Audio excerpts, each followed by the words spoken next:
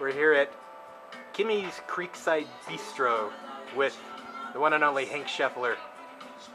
Hank, what do you think of this place? How do you like this restaurant so far? Cool. It's cool. Cool. Yes. What'd you do before the before you came to the restaurant? I went on the hike with my dad. That would be who? You. Me. What did you order for dinner? Baby back ribs. Baby back ribs? And you're the rib king. Yep. Are you going to be restaurant critic for the night? Uh, yep. Okay. We'll check in with you later and see how those ribs are, okay? Well, we're here at Solitude Mountain Resort at Kimi's Mountainside Bistro, and we're about to talk with Kimi Eklund, one of the uh, owners and uh, managers here. So, Kimi, Yeah. nice to see you again. It's yeah, you've been. I Uh, love seeing you always. tell us a little bit about your restaurant. It's named after you, Kimi. So I'm guessing that uh, you sort of had a lot to do with the design and the the, the food and and uh, the whole concept.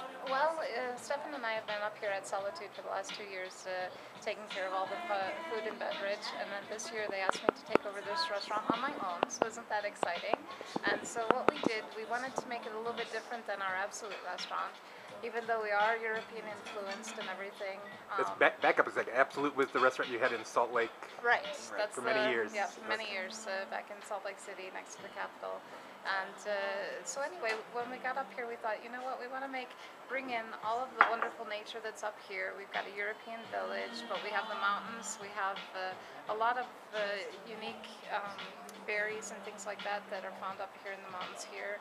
And then also some nice uh, um, Utah corn and other things that are uh, indigenous to Utah. So we thought we'd try to incorporate that into our menu this summer, and it's been going really well. We've got a really cool corn soup. It's with peaches and cream corn, Oh. and it's really tasty. It's got a coconut milk in it, and so we're trying to incorporate local flavors, uh, really light and fresh instead of the heavy European style. It's more a lighter, fresher, European-inspired uh, cuisine, I guess, with a mountain flair.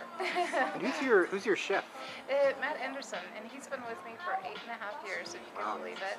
And I just love him to death. He's the best guy ever, and uh, he is very creative. And together we work really well as a team to try to um, create new dishes. And I think we're going to go to Spain in a couple of weeks and uh, take a food tour and get ready for the fall menu. Let's We're gonna check in with Hank and see how those ribs are.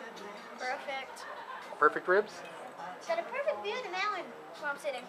Perfect view of the mountains. Really? Yep. Let me see how those ribs are looking. Oh, you kind of demolished them. Yeah. Not the best cutter. I'm not the best cutter. Who makes the best ribs, Kimi Yeah. or you know who? Uh, I, didn't, I, didn't, I never tried yours yet, so yeah, probably. You never tried my ribs yet? Nope. Eh, wrong. You've had my ribs. You loved them. Yep. But I've been supplanted by Kimi's ribs. Not. So I had them a long time ago, so kind of forgives your taste. Okay. Gonna but I got it, but I'm gonna eat yours tomorrow night. good enough for me. Guess what? Tasty the Moose has shown up for dinner. Apparently, he's been walking through the village here a couple of times. Pretty cool. I gotta say, I think my meal was more appetizing than this one, but oh. he might be chasing us.